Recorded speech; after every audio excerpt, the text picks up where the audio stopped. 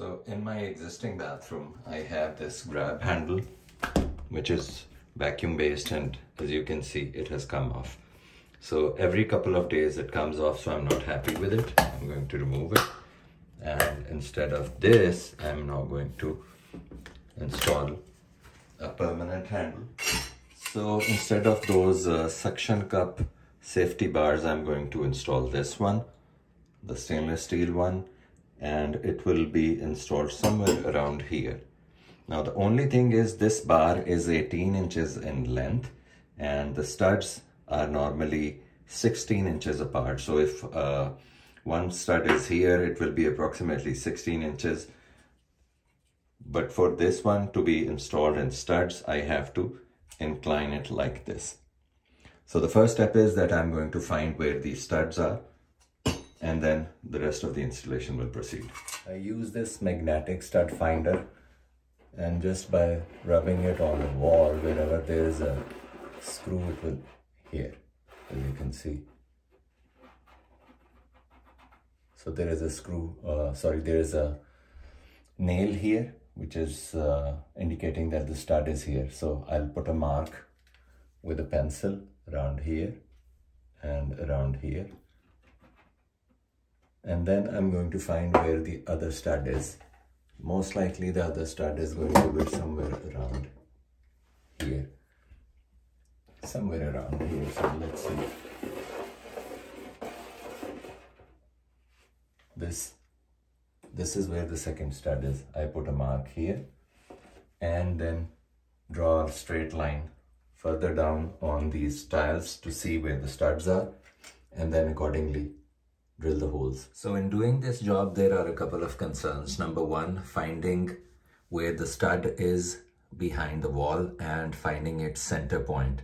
The reason is this grab handle has the screws uh, around it located in a way that you have to make sure one is in the center and at least one is close to the center so that you have at least two screws holding in uh, the grab handle. Another concern is if you find the stud, you have to make sure that the location is such that there is uh, no existing nail or screw in the stud.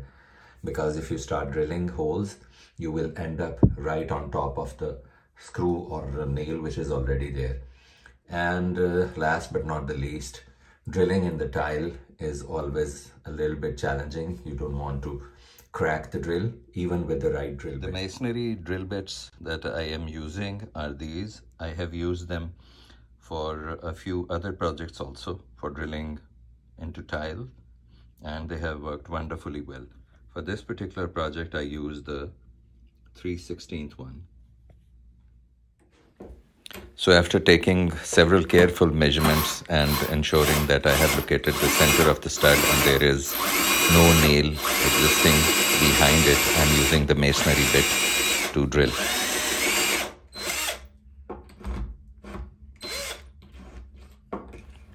Now using a wood bit, drilling a hole in the stud to make sure that it doesn't split when the screw is inserted. Now partially screwing in the screw in the pilot hole.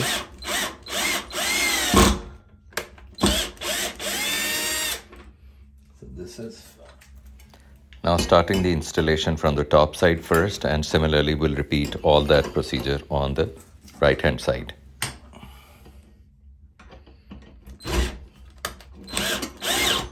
This is how I have installed it basically with two screws almost centered with the stud.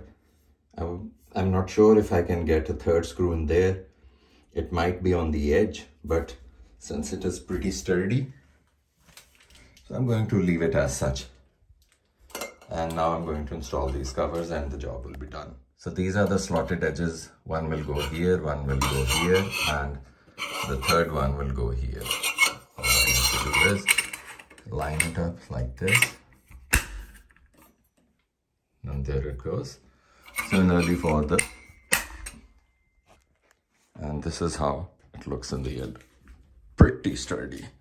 Thanks for watching.